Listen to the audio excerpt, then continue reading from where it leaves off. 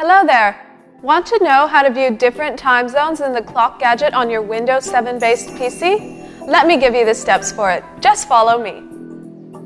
Right click on your desktop and select Gadgets to add it to your desktop.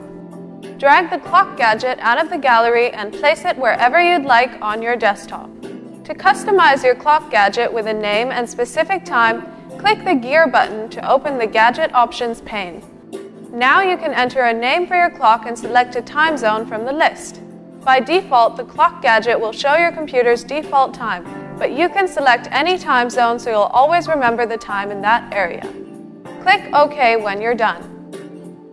Repeat the same process to add more clocks on your desktop. Your new clock gadget will show the name in the middle of the clock and the time in digital format including AM or PM when you hover over it. You can also choose different styles for each clock you want. See? How simple it was. Go ahead, have fun with your PC. At any point in time, if you face issues with your PC, just call iYogi. Good karma.